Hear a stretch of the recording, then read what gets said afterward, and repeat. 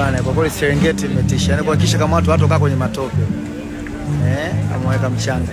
Hapa. Mvua ikinyesha tena kwa mipango ya Allah, lakini Allah tujamkosea hivyo. Unajua tuna vizambi vidogo dogo hatukatae, lakini pia Allah anatupenda wetu sote, wata tusamee siku leo, leo, anatuwekea inshallah. Tupate eh, jua. Mm, drone na nyinyi wambea sana,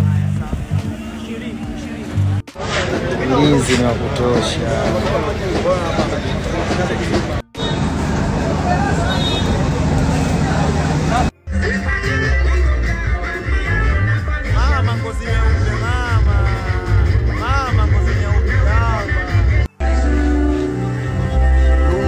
wapigaji vyombo, lundo la wapigaji.